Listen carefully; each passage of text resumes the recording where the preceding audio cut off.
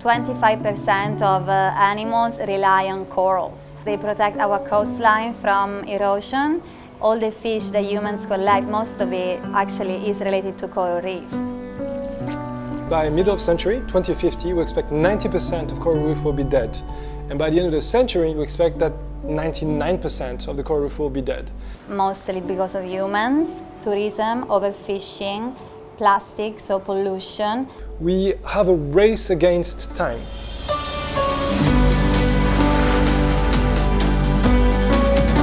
We're going to have what we call the Hong Kong Ocean Youth. The objective of the program is to identify 12 young people who are passionate about the ocean and make them ambassadors.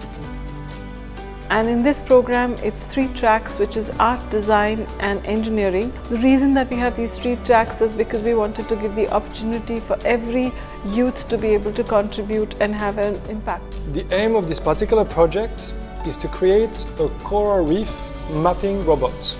It should be a device that is very easy for anyone to open a box, put in the water, use the phone and map an area and contribute to mapping the coral reef of the world. The reason why we're working with young people We wanted young people to believe in themselves, that they can actually have an impact. The first part of the program is a community engagement where we've actually screened a documentary called Chasing Coral across different parts of Hong Kong. The second part of the program was to actually make them care about the ocean. And the third part of the journey was where they started to create and have an impact. The AI that we are building needs to have a variety, lots of diversity in the type of pictures that we get. And I think now it's getting to the point where you can recognize a rock, sand and coral.